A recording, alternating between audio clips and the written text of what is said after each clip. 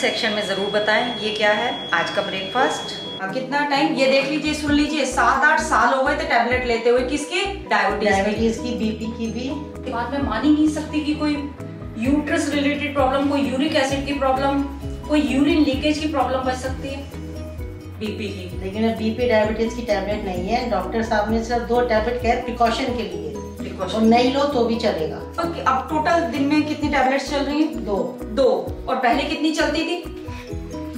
सोलह सत्रह का भी अठारह भी हो जाती। सोलह सत्रह अठारह बॉडी पेन हेड वो रहता ही था मेरे। बॉडी पेन और हेडेक रहता ही रहता था। ये आपको पता है कि सूजी की डाइट बहुत हल्की रहती है। जैसे न्यूबॉर्न बेबी को भी हम सूजी का उपमा डॉक्टर्स भी सूजी सजेस्ट करते हैं। तो ऐसे ही हमने बच्चे बन जाना है। बच्चे की तरह इतना सा बाइट और ये बाइट बिल्कुल 32 टाइम्स जब तक चू नहीं हो जाता।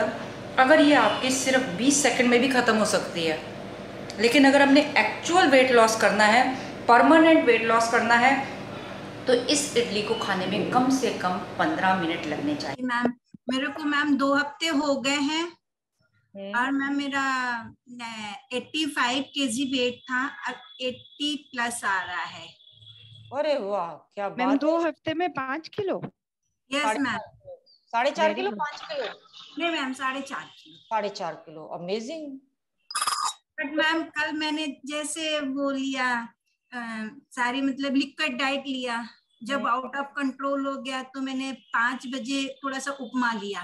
तो ठीक है हल्की डाइट ली जो समय निकला वो तो निकल ही गया ना। पाँच के साथ में मैम लिया लिक्विड जैसा करके। आज के साथ हाँ। तो तुम्हें उम्मीद थी कि पंद्रह दिन में फोर के जी कम हो सकता है?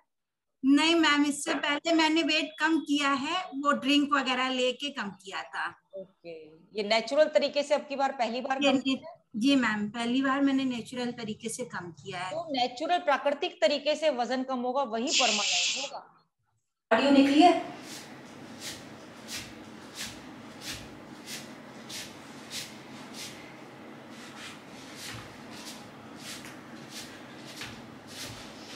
इसके बाद मैं मान ही नहीं सकती कि कोई यूट्रस रिलेटेड प्रॉब्लम, कोई यूरिक एसिड की प्रॉब्लम, कोई यूरिन लीकेज की प्रॉब्लम बच सकती है।